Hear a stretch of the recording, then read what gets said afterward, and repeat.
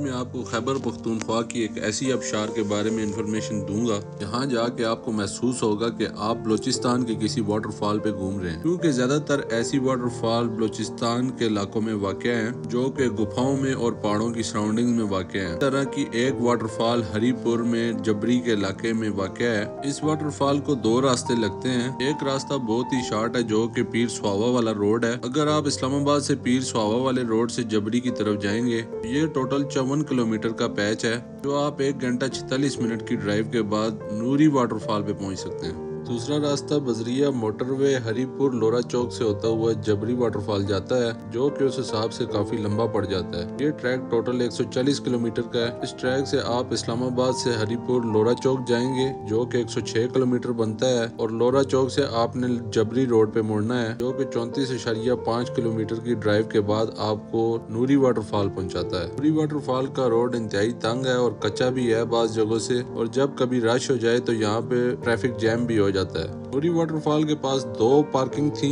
एक वाटरफॉल तकरीबन एक किलोमीटर पहले आ जाती है और वहाँ पे हमसे चार्ज भी दो सौ रूपए किए जा रहे थे। लेकिन जब हम एक किलोमीटर के बाद अगली पार्किंग में पहुँचे तो वहाँ पे सौ रूपए पार्किंग का चार्ज किया गया। वहाँ गाड़ी पार्क करने के बाद तकरीबन दस से पंद्रह मिनट की हाइकिंग करनी पड़ती है आपको। पार्किंग से पंद्रह किलोमीटर का पैदल रास्ता तय करके आप नूरी वाटरफॉल पे पहुँच सकते हैं। नूरी वाटरफॉल जो के नहाने के शौकीन हजरात और स्विमिंग करने के शौकीन हजरात दोनों के लिए बहुत ही खूबसूरत जगह है। यहाँ पे पचास रुपए लेके आपको लाइफ जैकेट भी मुहैया की जाती है। इसके बाद आप नूरी वाटरफॉल पे अंदर खूब स्विमिंग कर सकते हैं। नूरी वाटरफॉल का पानी इंतहाई ठंडा होता है, लेकिन फ़िक्र की कोई बात नहीं। अगर आप गर्मियों में जा रहे हैं तो नूरी वाटरफॉल के बाहर एक छोटी नदी भी बहती है। अंदर से जब आपका जिसम खूब ठंडा हो जाए तो बाहर आकर आप इस नीम गर्म पानी में भी आप नहा सकते हैं। पार्किंग से लेकर नूरी वाटरफॉल तक तकरीबन एक डेढ़ किलोमीटर का रास्ता बनता है और यहाँ पे बहुत ज़्यादा गर्मी है। और इतनी गर्मी है कि नूरी वाटरफॉल बहुत ठंडी थी, वहाँ पे बहुत ठंडा पानी था, जैसे फ्रीजर का होता है। वहाँ पर हम नहाए और वहाँ से निकल के थोड़ा सा चले, पाँच मिनट फिर से गर्मी आई, बहुत शदीद कपड़े खुशक हो गए।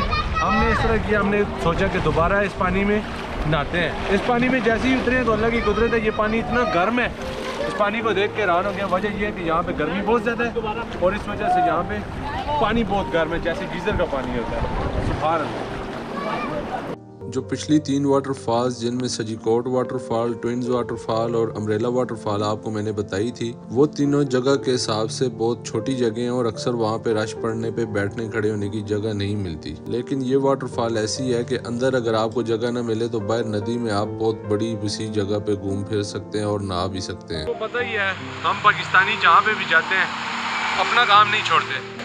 हर जगह पे गंद। ये देखें। इतनी खूबसूरत वाटरफॉल पे और ये गंद देखें वाटरफॉल पे जमा हुआ हुआ।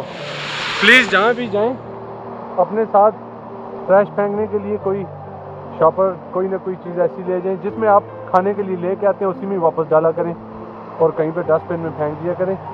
इससे हमारा पाकिस्तान भी साफ़ रहेगा और यहाँ पे आने को भी दिल करेगा। बाकी जगहों की तरह ये जगह अभी नई एक्सप्लोर हुई है और यहाँ पे भी गंदगी का यही हाल है। प्लीज़ गंद मत मत मचाएँ। थैंक यू आखिर में एक इंतहाई अहम चीज़ जिसके बारे में लोगों को तजस होता है, वो मैं बतानी भूल गया कि यहाँ तक आपका कितना फ्यूल खर्च होगा। अगर आप बजरिया मोटरवे जाएँगे 140 किलोमीटर का आपका पच्चीस सौ अठतीस रूपए का डीजल लगेगा। और अगर आपकी गाड़ी 15 की माइलेज देती है तो आपकी गाड़ी का पच्चीस सौ अठतीस रूपए का फ्यूल लगेगा। अगर आप नूरी वाटरफॉल का कंप्लीट व्लॉग देखना चाहते हैं, मेरे यूट्यूब चैनल वसी मलक व्लॉग्स पर जाकर देख सकते हैं। और अगर आप हमारे साथ कैंपिंग और ट्रैकिंग से रिलेटेड टूर्स करना चाहते हैं तो हमें व्हाट्सएप पे ज्वाइन कर सकते सकते हैं। और अगर पाकिस्तान की तमाम खूबसूरत जगहों की इन्फॉर्मेशन जानना चाहते हैं तो मुझे सब्सक्राइब कर लें। और अगर किसी खूबसूरत जगह के बारे में जानना चाहते हैं तो नीचे कमेंट्स कर सकते हैं। मुझे दीजिए इजाज़त। अल्लाह हाफिज़।